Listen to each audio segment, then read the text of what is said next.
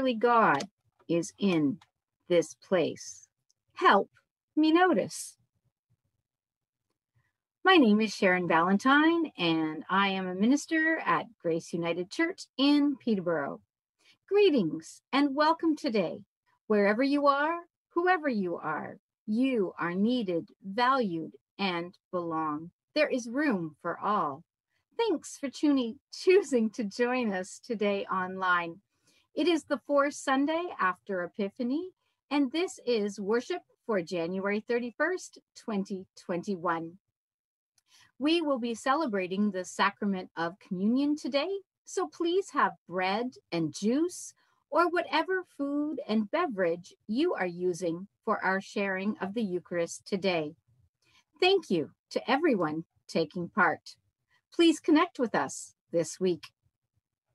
If you have a candle, I invite you to light it now or just hold the light of Christ in your heart.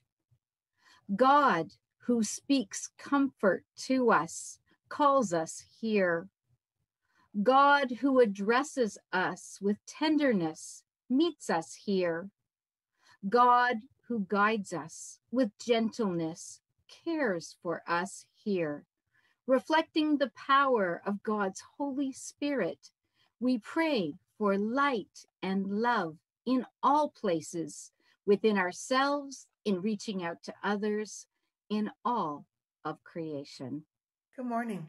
What a beautiful day to praise the Lord. Please join me in the call to worship and opening prayer found on the screen. I'll read both parts, but please join in from home. Epiphany is a time of revelation, a time when we see things for the first time or in a new light. Open our eyes to see your light, O God. Epiphany is a time when we hear God's call and all that God is calling us to be. Open our ears to hear your calling, O God.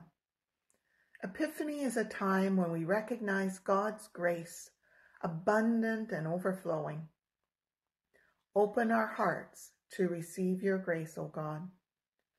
Epiphany is a time for worship, that we might be called by the light of Christ, led by the Holy Spirit, and filled with the grace of God. Open our lives to respond in worship of you, O God. Let us pray.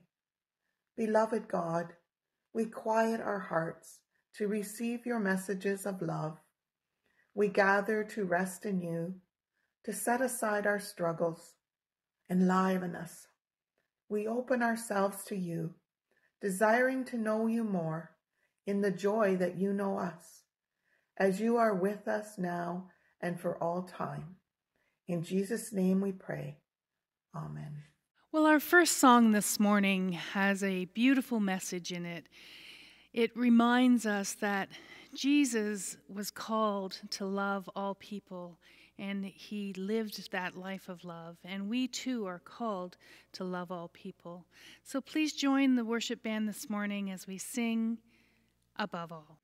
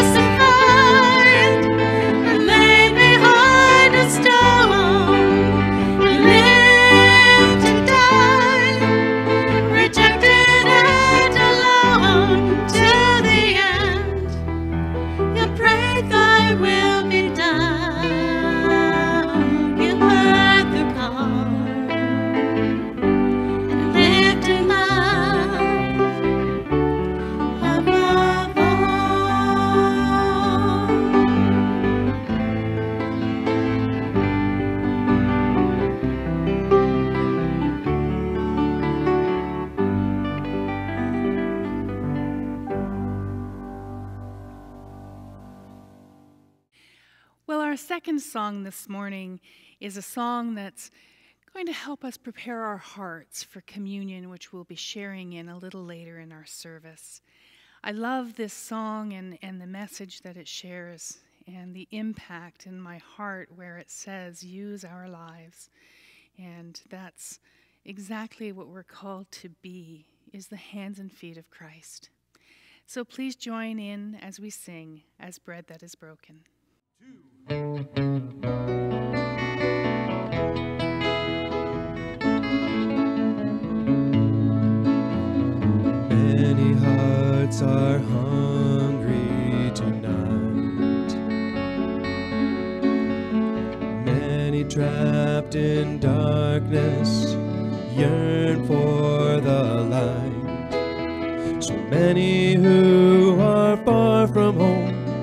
many who are lost.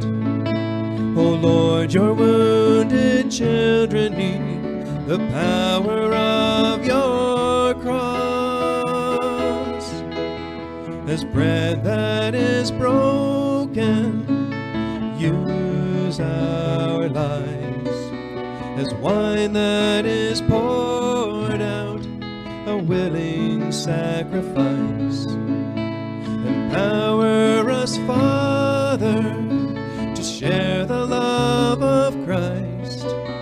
as bread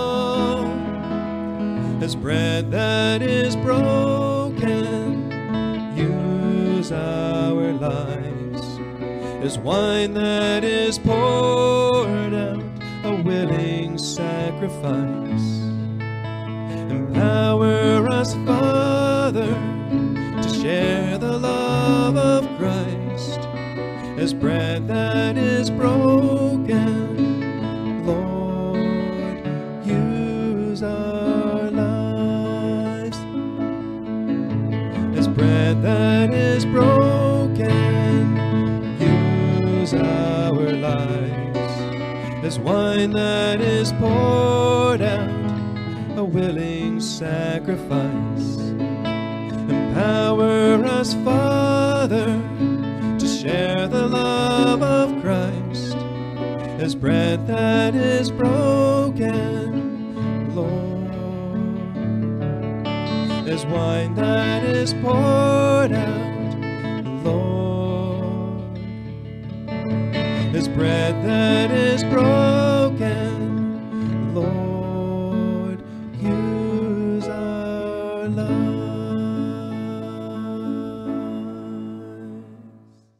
Hey, hey, what do you say? What's your high and low today? That's fun to say, but a little harder to answer. I'll say it again, and then I'll explain it. Hey, hey, what do you say? What's your high and low today? In a few weeks, we will be reading the story of Jesus going up on a mountaintop with some of his friends. Things that we think are awesome or really wonderful, sort of the best or our favorite experiences, people sometimes describe as mountaintop experiences or highlights or high points or simply highs. Jesus also reminded his friends that they were going to have to go back down the mountain to the valleys, to the lower places. A psalm writer called David wrote about walking through the valleys. These we've come to know as the tough stuff. What worries us makes us feel saddest or most concerned. People often call these valleys the lows. Valley lows, or name them just lows. Share your mountain highs and valley lows with someone and ask them to share theirs if they're comfortable to tell. Remember to say thank you. And please call me, text me, or email me with your mountain high and valley low for today or maybe for this week. Whether we are having mountain highs or valley lows or anything in between, we can always share everything with God. I want to share with you all a prayer using your hand taught by Cardinal George Bergoglio. You might recognize him by his current name, Pope Francis. While he was still archbishop in Argentina before he became the Pope, he shared this reminder with us about how we might remember what to pray about. It is a five fingered prayer. I'm going to explain it first. The thumb is the closest finger to us.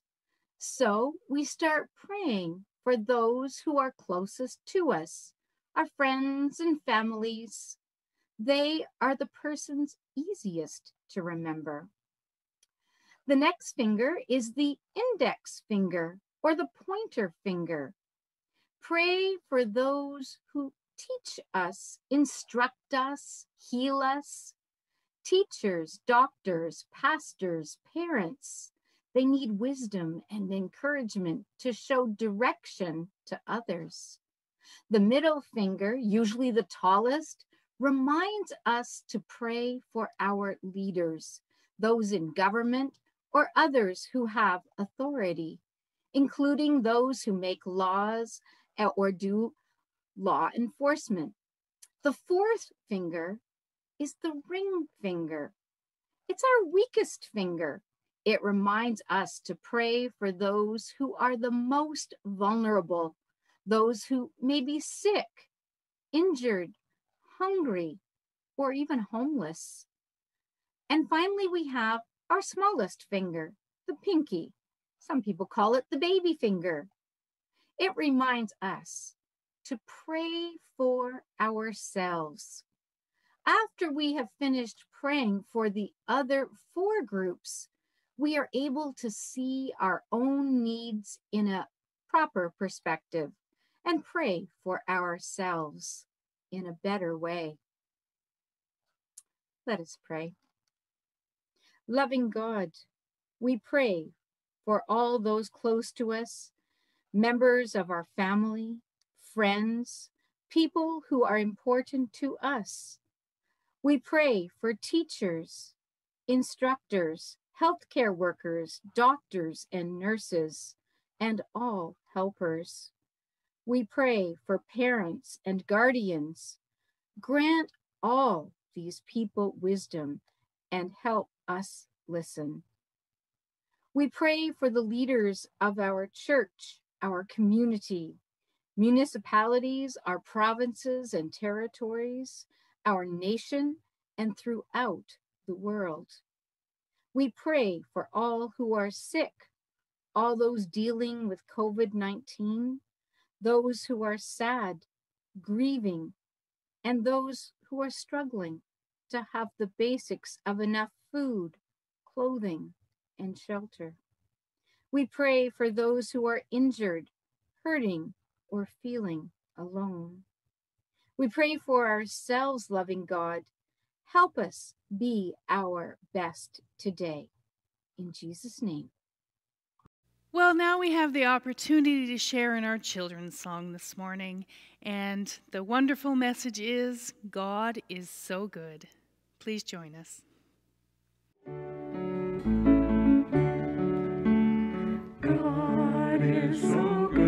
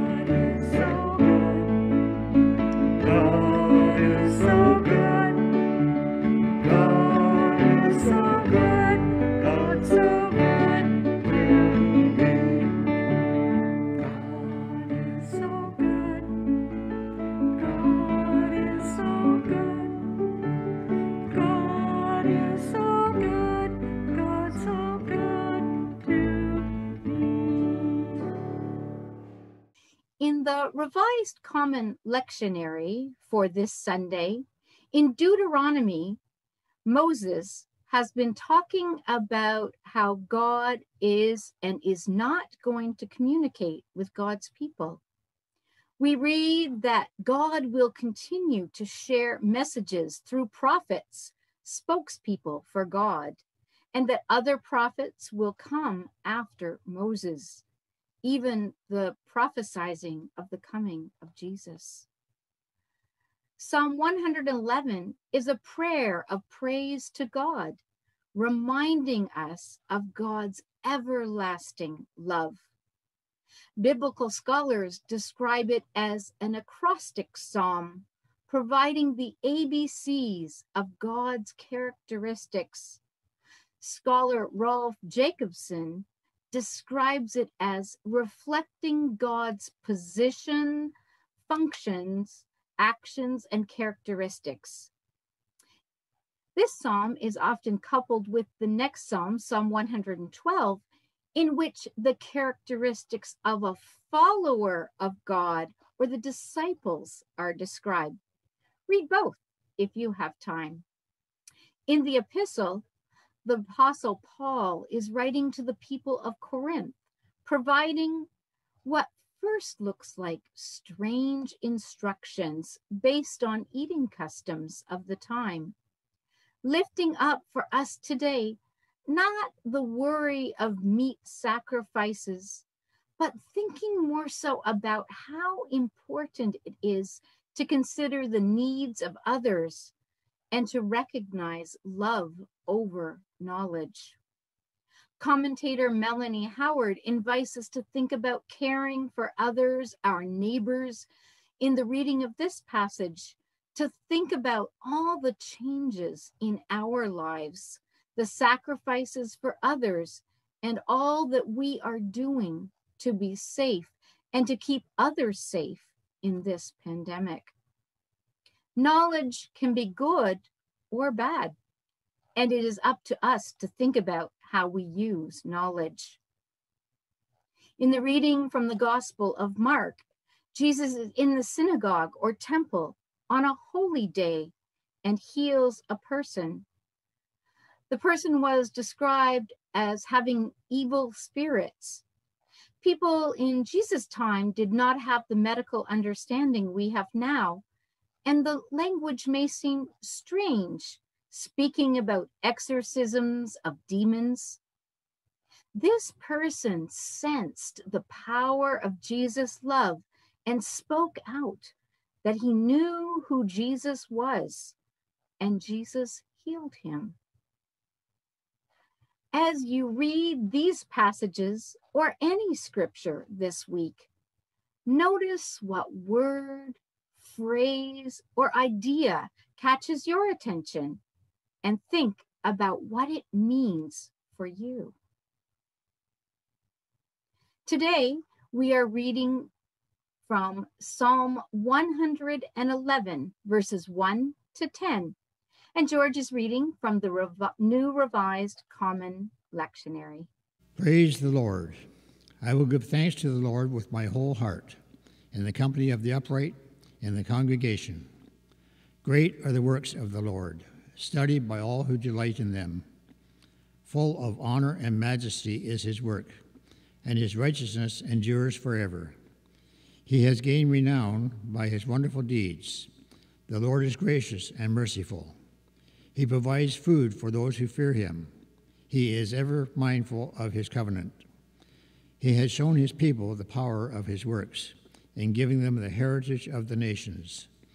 The works of his hands are faithful and just. All his precepts are trustworthy. They are established forever and ever, to be performed with faithfulness and uprightness. He sent redemption to his people. He has commanded his covenant forever. Holy and awesome is his name. The fear of the Lord is the beginning of wisdom. All those who practice it have a good understanding. His praise endures forever. Let us pray. May the words of my mouth and the thoughts and meditations of all of our hearts be open and acceptable to you, O God. Help us learn more about who you are, thinking outside the box and focusing on your love.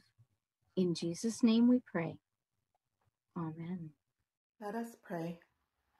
Creator God, we thank you for all you have blessed us with the cold nights and the brilliant full moon, the stars, the snowy fields, the brooks that are still babbling despite the cold, the calming sound of water over rocks, the crunch of cold snow underfoot.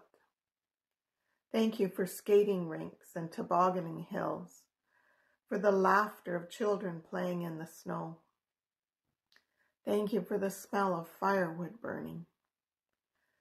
Thank you for the bunnies hopping around and the squirrels scurrying everywhere, for the ruby grosbeaks, the mourning doves and blue jays flitting about. Thank you for hot chocolate, cozy blankets, and fuzzy socks, for good movies, books, and beautiful music, for telephones, computers, for Zoom and FaceTime and mail. Despite being locked down, we have much to be thankful for, much we can do to communicate and reach out, even if we have to stay six feet apart. Forgive us, Lord, for sulking and complaining about the lockdown. Thank you for health and life. We pray for those who are not as fortunate, those who have COVID or other illnesses, those who are sick but afraid to go to the hospital, for those who have had their surgery pushed back, for cancer patients enduring radiation and chemo, for those suffering from depression or other mental illness compounded by isolation. We pray for those who find life so unbearable and are contemplating death by suicide. Be with them. Surround them with your love and caring. Show us how to love like you do. Thank you for Bell Talk Day, for those who are trying to bring mental health issues to the forefront and those who are willing to share their stories in an attempt to help others who are struggling. We lift up to you the families and friends of those who have passed away. Be with them, Lord. Help them to grieve in these difficult times. Wrap your loving arms around them. Bring them comfort. Be with Lyle and Lillian as they adjust to retirement. May they feel our prayers and love. Lord, be with the homeless and the helpless who have no home to isolate in. Be with the workers who try to bring safety, food, and warmth to them. Be with us, Lord, and compel us to help those who are less fortunate than we are. We pray that COVID will not dampen our vision of reaching out and engaging the community. Help us find alternate methods to reach out 167 hours we aren't here. Help us not to judge others who may look or think differently than we do. Show us again how to love unconditionally, to see past the tattoos, the piercing, the skin color, the language, the beliefs. Help us to just see people, your children, as you see them. Be with our country, Lord, our province, our city, our leaders, Prime Minister Trudeau, Premier Ford, and all their advisors, for those in charge of the vaccine procurement and rollout. Be with the companies that produce the vaccine. Prod them to be more compassionate, to more to worry more about the health of the world and not big business. Be with our seniors, those in nursing homes, and those in their own homes. Protect them and keep them. We pray that their vaccination will curtail the deaths from COVID. Help us all to follow the rules of the lockdown and to act, get the numbers down. Keep the children, teens, teachers, and staff that have gone back to school despite lockdown safe. Be with the Canada Post staff and all essential workers who are making others' lives better but have somehow contracted COVID. Bring them a speedy recovery. Lord, some of our lights are growing dim. We know your word is a lamp unto our feet and a light unto our path, but we neglect your word we don't see your path for us. Bring us back to your word. Guide and direct us by your holy light, so that our lights will shine brightly and lead others to know you and your love. Reveal to us our path that we may follow you in all that you are calling us to be. In Jesus' name we pray and continue to say, the prayer you taught your disciples. Our Father, who art in heaven, hallowed be thy name. Thy kingdom come, thy will be done, on earth as it is in heaven. Give us this day our daily bread, and forgive us our trespasses, as we forgive those who trespass against us. And lead us not into temptation, but deliver us from evil. For thine is the kingdom, the power, and the glory, forever and ever. Amen.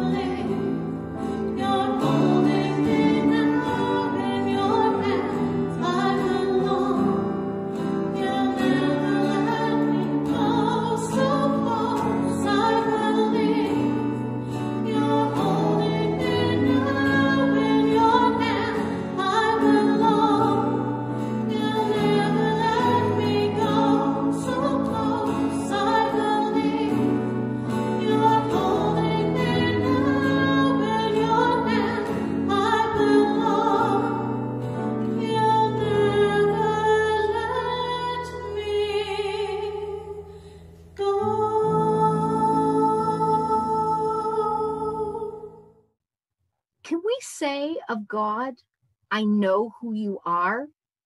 Psalm 111 invites us to reflect through the psalmist's writing a summary of our knowing of God's characteristics and works. Depending on the situation, this could be clear or pretty foggy. On a clear day, for example, we might notice so much scenery, context, details, God. But on a foggy day, it's harder to notice, both literally and figuratively.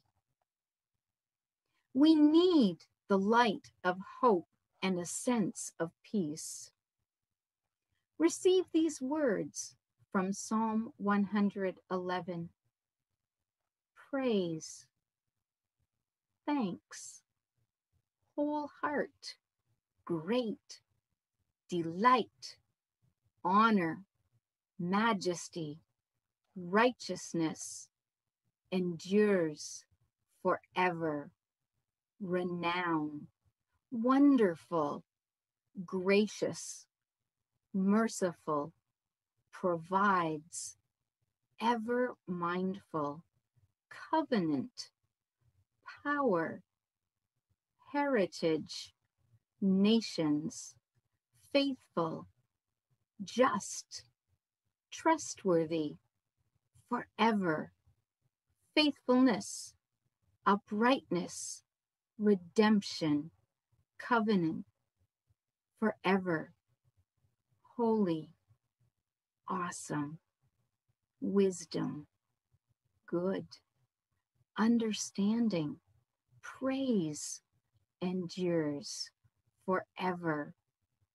Did you notice that I repeated some words like praise, endures, faithful, forever? Words reoccurring in this psalm. Repeating messages from God is the work of a prophet, a Greek word meaning spokesperson. Take care of the vulnerable, seek peace, love, justice, care for the earth and each other. These are messages that prophets bring. And these prophets often speak into creation, speaking for all those whose voices are being drowned out. And this also challenges us with our own responsibilities to communicate how we know and experience God, to speak up and speak out. In Psalm 111, fear of the Lord being the beginning of wisdom is often quoted. While an Old Testament image is to fear God, Jesus repeatedly speaks of love, speaking of not being afraid, a message we need to have repeated. Courage is fear that has said its prayers. Embracing God as love. Wisdom comes in our moving through our fears and discovering God reflected in others, especially those who are most marginalized, those who are outsiders or do not fit in the box. In the gospel reading in Mark, Jesus was in the synagogue in Capernaum. It was the Sabbath, a holy day. People looked to the religious leaders as the voices of authority. They were the ones who knew the laws and were credited for having knowledge of God. But on this day, Jesus captured everyone's attention. Jesus was speaking and acting with true authority as one who knew God. A person who today might be described as experiencing mental illness or instability, yelled out, confronting Jesus, I know who you are. That individual was watching, observing, and knew who Jesus was. The least likely to be included or welcomed. There was the one person who got it, who could identify Jesus and Jesus' connection to God. A person who seems to have experienced more valley lows than mountain highs. They know who Jesus is. Have you ever heard it said? Yeah, we think about those on the outside, those who are marginalized. Perhaps this week you observe the Bell Let's Talk Day, a day in which people are encouraged to think about mental health, mental well being, and the way we treat others, especially about the need to break the stigmas around mental health.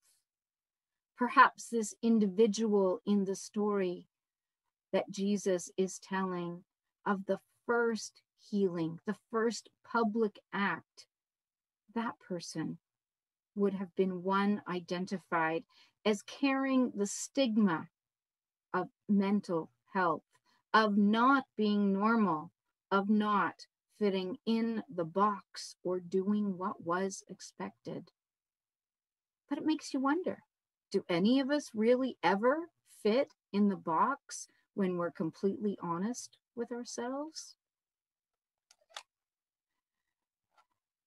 Have you ever heard that some students talk too much? As a teacher, I wanted students to talk. I used microphone systems daily to support people talking, to project their voices and be heard. It gave confidence to the shy ones and equitable opportunity for everyone to focus on the speaker. Energetic, curious, observant, not in the box students sometimes were bursting with their wonderings and impulsivity. Some people do not sit still well. You know, you can learn while you stand or lay on the floor, or sometimes even need to walk and move about. In my classroom, you just had to ask me before you worked on the floor so I didn't trip over you. I believed in empowering us to sit in our seats when we needed to and having the flexibility to move about and be in different places and spaces when it worked for our better learning and concentrating. Often, I found that students could arrive at the beginning of a school year intimidated to try, as if their spirit for learning and believing they could had already been crushed out of them. Maybe you were one of those students, or a parent or a grandparent to a child that doesn't fit in the traditional classroom box. Well, my classroom was not a traditional classroom, not a in the box kind of classroom anyway. I mean, think about it. Who has a dog in the classroom? Who has a teacher that has to ask the students when she's writing on the board if she is in a clear spot on the board so she does not write over top? Who gets pretend driver's licenses the very first day of school so they can sighted guide their teacher to their gym class. You don't want to take a guide dog to gym class with a bunch of soccer balls and a class full of students racing around, especially with one or two of those students guiding their teacher and laughing when the teacher misses the ball yet again or the sweet victory when she actually times it right and kicks the ball and I loved multi ball soccer. I was famous for dumping as many balls as there were in the bag onto the floor so that we could all have maximal opportunities to play. It brought as much laughter and whimsy and fun as it did elements of soccer playing. That teacher will do daily brain gym and mindfulness practices too, gratitude journals, and at times speak out strange statements like, Could I borrow some functioning eyeballs? And immediately have volunteers offering help. She will read you a whole novel and never see a word of the printed page. Simul reading from her audio in her ear. She puts braille bumps in the upper right corner of every notebook and folder and all personal classroom library books have a braille title on the cover. When you have a teacher that teaches you to read without seeing the page, or is weird about wanting you to have your best cursive script, placing her fingers on your desk, laying her palm down for you to make a practice cursive letter with your finger on the back of her hand so she can see how your brain is understanding how to form that letter. Or you direct her finger and trace and talk her through your art creation, asking and answering her many questions so she can see and understand your artist's perspective. Who kind of kept up with spelling when it fell out of vogue and cursive writing after it was no longer on the curriculum because I felt we all needed to be able to be our best and at least be able to write our name and read cursive script. All of it somewhat outside the box. Qualifiably weird, right? But one of the things I also observed consistently as a teacher, humbled to learn and grow with my students every year, is those same children who others said didn't fit, or as we joked, fit and dit, were the very first students to be observant and alert me when there was stuff on the floor in the hall, or there was a safety concern, or any number of small things. These were usually the very first students who would get it and know me.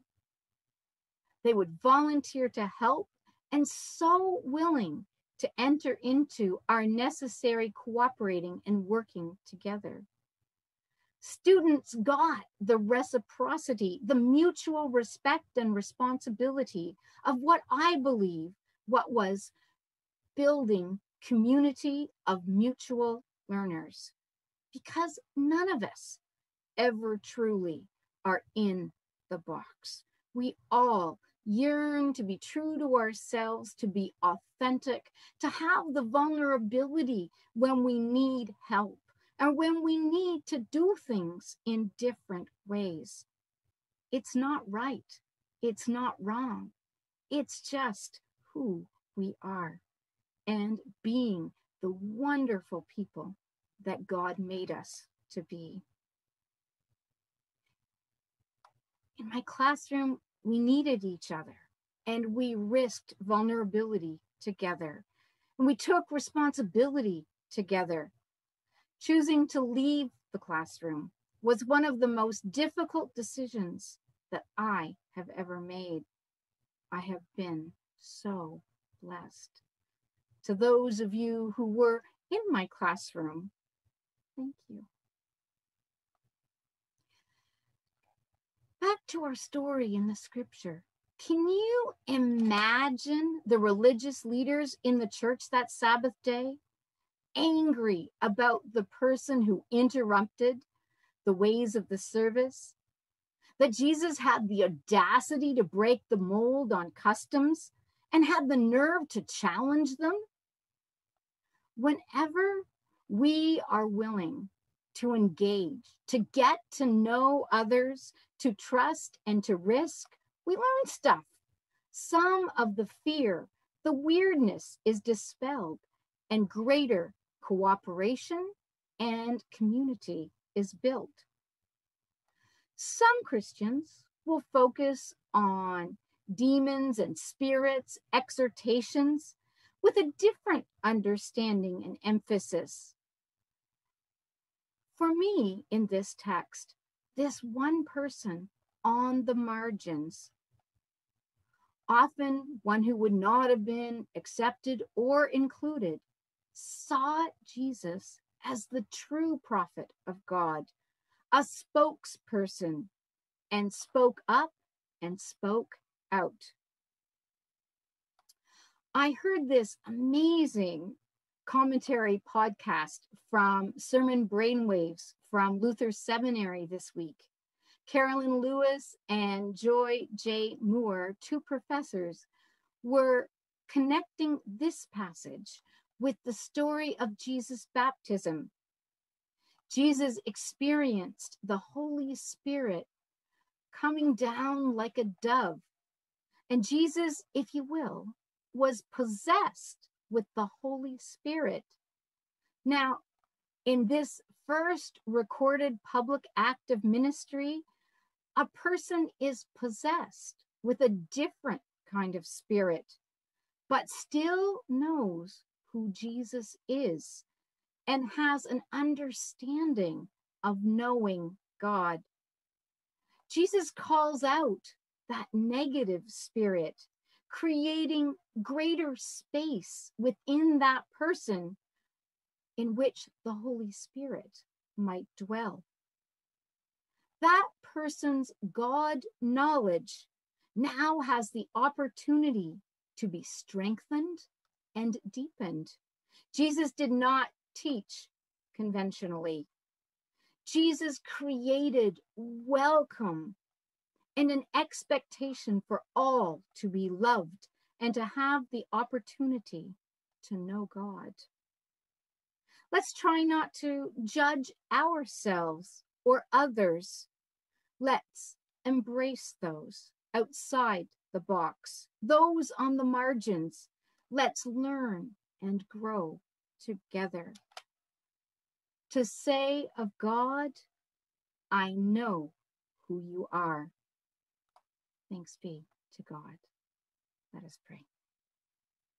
All knowing God, with your spirit ever within us, open our hearts to receive and to respond, to grow in faith and know you.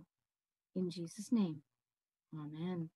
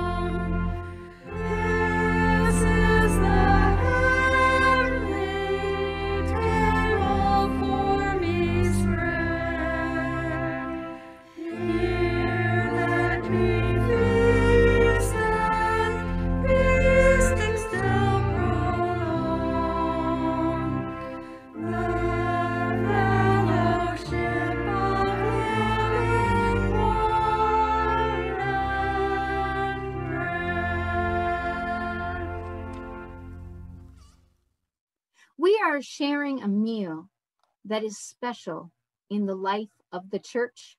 We call it communion or Eucharist. It is a holy meal. In our church denomination, this is one of two sacraments, the other being baptism. Through this sacrament of Eucharist, we connect more closely with our loving God. It is a time when we remember how much God loves us. The United Church celebrates an open table. All are invited to share in receiving the sacrament of Holy Communion. And due to the pandemic, we are sharing virtually. And I invite you to have ready whatever food and drink you are using for our communion. If you would like, take a photo and share a picture of your communion food and drink today. Send it to me. As we come to this table, we are reminded that this is the table of Jesus Christ, a banquet prepared for everyone. Imagine all of our tables, some new, some old, some bearing the markings of their stories, some fancy, some simple, some adorned, some plain, a kitchen table, a dining room table, a TV tray, an end table, a lap, the ground. Our tables, as different as we are, as different as the food and drink before us, as different as the vessels that hold them, but all transformed in this sacred sacrament as we gather as one, all a part of the body of Christ. No one is excluded. Come, join us. No, you are included, valued, needed. You belong. God be with you and also with you. Lift up your hearts. We lift our hearts in prayer. Let us give thanks to God. It is good to give God thanks and praise. Let us pray. Infinite God, we want to know you and draw closer. Source of love, you know no boundaries. Your song of wisdom rang out before the world began. Throughout the ages, your song of liberation has impregnated us, filled us with your hope for our world where those considered last and least are the first and most. Violence is overcome by the power of your ancient love, and all people work together for peace. You bring our longings to birth and send prophets to awaken us to your presence among us. You inspire us, O God, with songs, with messages of your word. Renew our hope. God of hope, make our food the means of our rebuilding, our drink the medium of our transformation, our table the foundation of our renewal, and this community connected virtually the beacon of light and love, Epiphany. As we pray together, O God, we want to connect with you more deeply as we feel your mighty presence. We join ourselves to that great company of heaven and earth, of all God's people everywhere, in every age. Christ is our host, welcoming, greeting. This is, O God, the banquet his love prepared.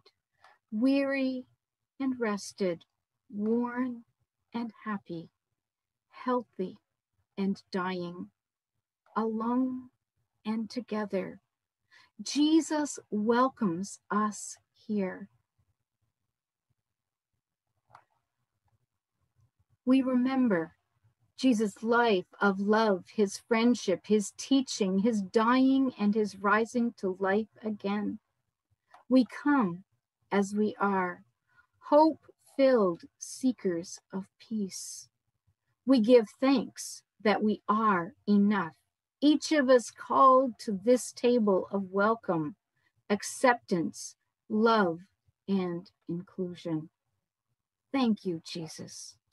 Amen. It was a mealtime they would never forget. They gathered in the intimacy of an upper room by lamplight, the air heavy with sadness and confusion at all the disquieting occurrences within them and around them. The meal followed the usual format that they ate together as they had for three years now until until right in the middle. Jesus at the center of it all stopped conversation and said words which have been reported in the church from that day to this. This bread that we break together is my body. He spoke that he gave it for them and that it was given freely. This cup that we share together, he shared was his life's blood given to them, given freely, so that all might know life in all its fullness, just as Jesus did. He told them that he would not eat and drink again until he did so in the coming fullness of God's kingdom. They were mystified, but they followed his lead. They ate the bread and drank from the cup. We come to eat and to drink and to remember on the night in which Jesus was betrayed, he took bread, blessed it, broke it, and saying, Take, eat, this is my body given for you. Do this for the remembrance of me. Likewise, after supper, he took the cup, gave thanks, and gave it to them for all to drink, saying, This is the new covenant in my blood shed for you, shed for all people for the forgiveness of sins. Do this for the remembrance of me. Praise be with you now, tomorrow, and forever. Through Christ, in Christ, and with Christ. Gracious God, breath of peace, source of love. We pray for your spirit. Make us, while many, one. Make us, though broken, whole. Make us, despite death, alive. Come, Holy Spirit, come. Bless these simple gifts of food and drink May your spirit be enlivened in us. Fill us with new hope. Amen. Take, eat the bread of life.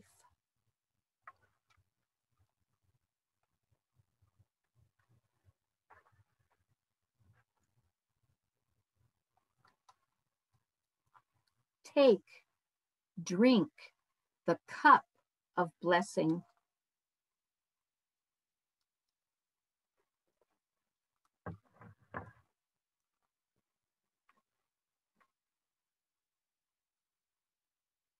Let us pray together. We thank you, God, for filling us with hope. Thank you that as we are fed, we are nourished. Thank you that as we drink, our thirst is quenched. Thank you that as we are loved, forgiven, and freed, our hearts are opened to love more. Amen.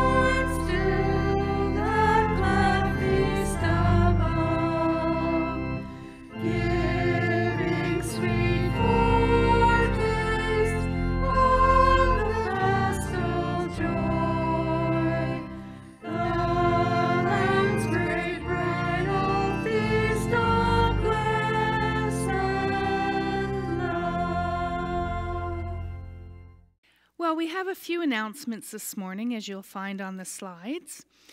Our annual report is being put together, and if you are submitting a ministry report, we ask that you get it into the office no later than February 5th. Our annual meeting is scheduled for February 28th, and there will be more details being shared in the coming weeks with regard to the annual meeting. Please join us on February 14th as we have a special celebration celebrating Baden Powell Sunday. And we celebrate in this service our amazing scouting program that we have here at Grace. The One Roof Diner continues to be in need of our help, and Donna Rodenheiser is doing a wonderful job leading this ministry at this time. And we know that they are looking for more warm gloves and mitts.